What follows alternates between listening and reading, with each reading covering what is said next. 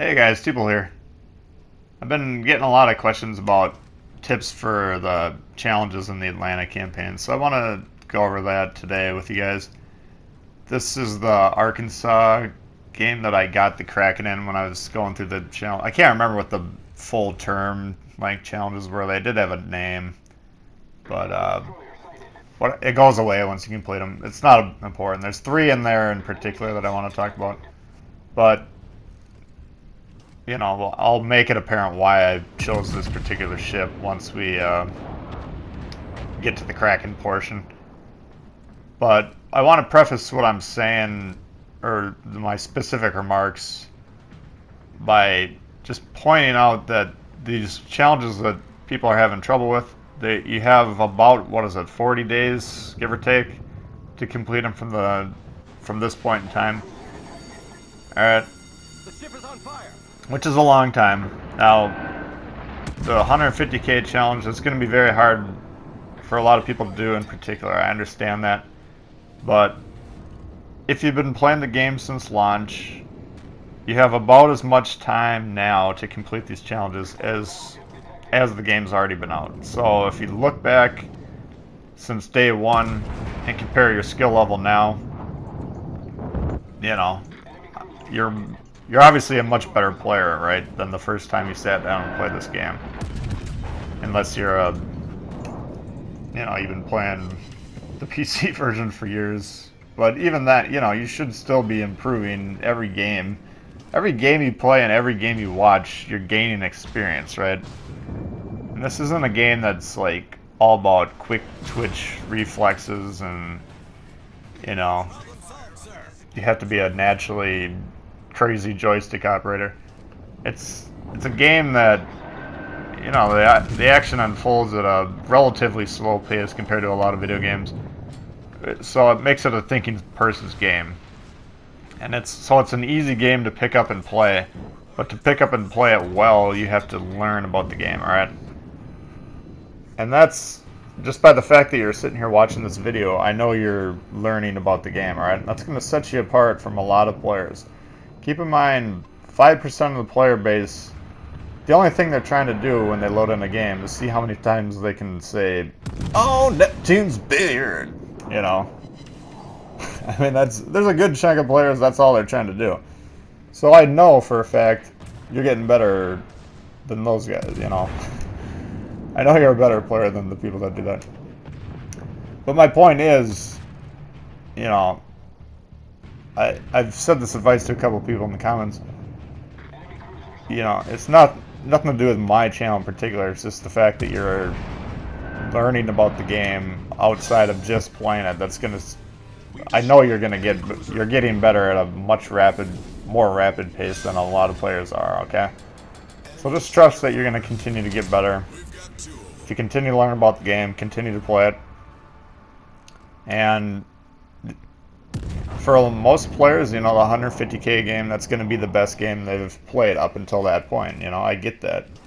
And it's not an easy requirement. It's not like I sat down and did it in, you know, the first two or three games. I had to, you know, I picked a ship I wanted to do it, and I think it took me about 12 or 15 games before I could specifically do it. You know, and I've gotten a couple since then. So they, you can get them done. You know, it's they do occur, but I understand, you know, that would be, for a lot of you, your best game up until that point, which is awesome. Because every time you sit down and play a game, that's potentially your best game. You know, if you just started playing a couple days ago, 30,000 damage might be your best game. But then maybe today you're going to get 45,000. Well, that's going to be awesome. That's a huge improvement, right? And so keep in mind the length of time you have to do this and just don't get discouraged. That's my advice in general, okay? So now we'll talk about the challenges specifically. Uh, the first one a lot of people are asking me about is the Citadels. What's the best way to get, I can't even remember what it is, like, is it five or eight or whatever Citadels in a single match? What you want to do, in my opinion, is get uh, American or UK Destroyer. Um, probably lower. I think most of these challenges are like three to tiers three to seven, if I'm not mistaken. For that one, I'd probably play lower tier just because at higher tiers, people are, should learn to be shooting destroyers by that point. Lower tiers, a lot of people ignore them because they're harder to hit. But just close in to a cruiser that's broadside to you.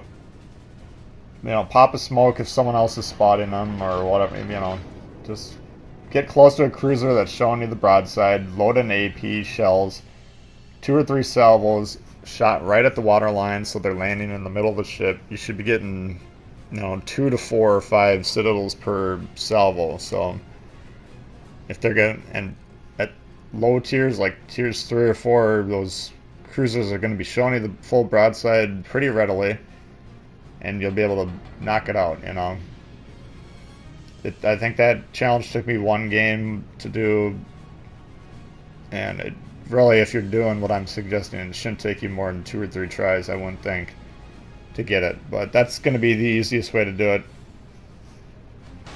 Um, just again, close range AP destroyer shots against broadside uh, cruiser targets. You'll be racking them up pretty quickly.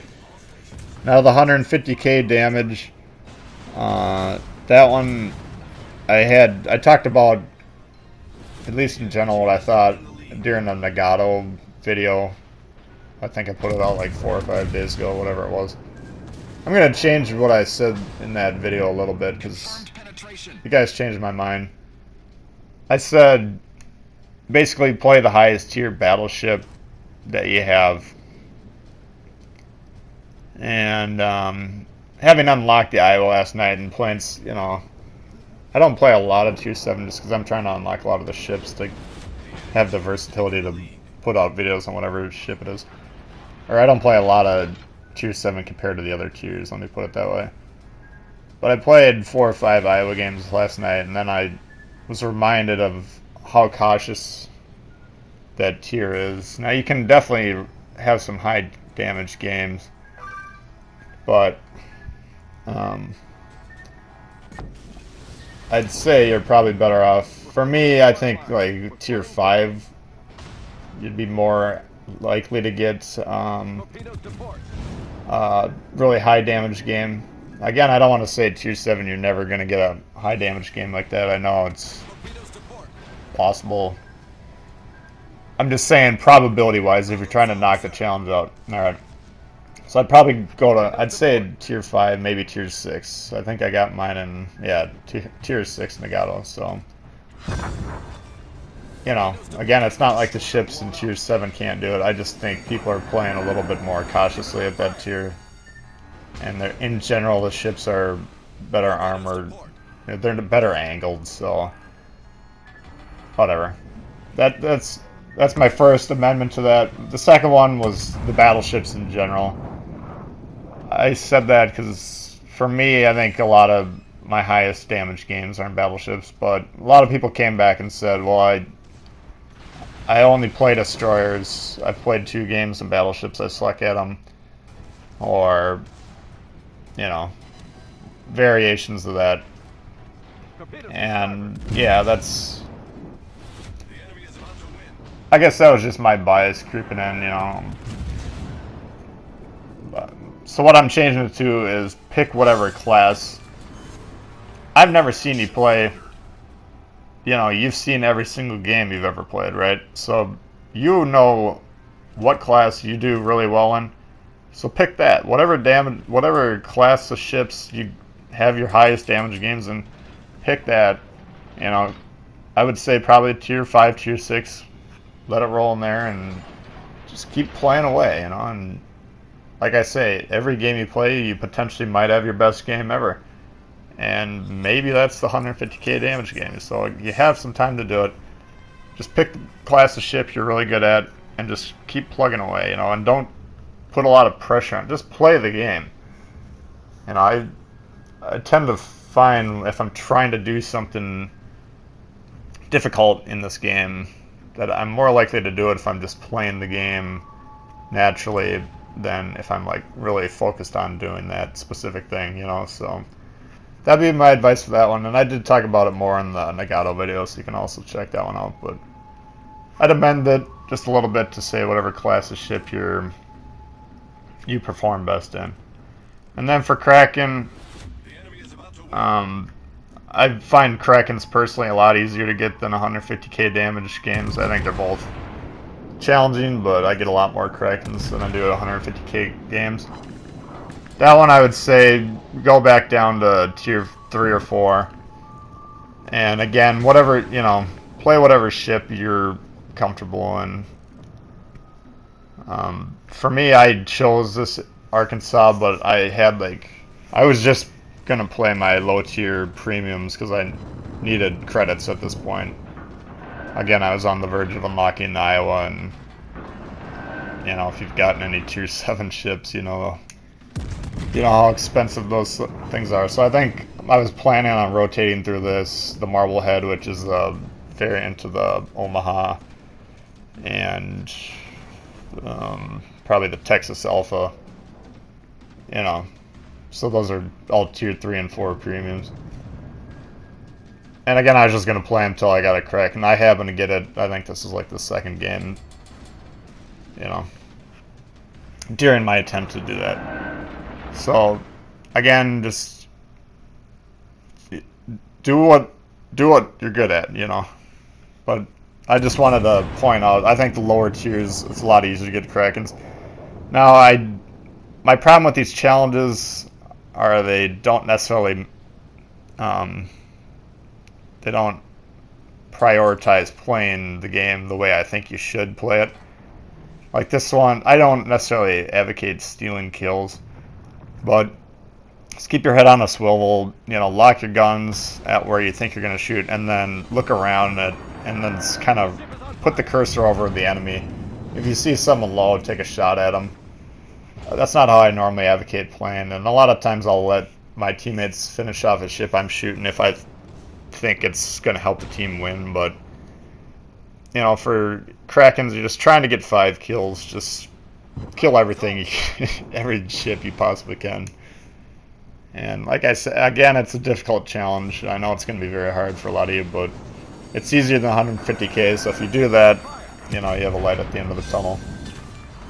So I hope those tips kind of helped you out a little bit. If you have more that you want me to expand on, just leave it in the comments. I'll be sure to get back to you guys. I want to help as many of you get through this as like possibly can. So that's the goal. If you liked the video, please hit the thumbs up. New to the channel, consider subscribing. Lots more World of Warships where that's coming from. And we'll see y'all later. Alright, peace.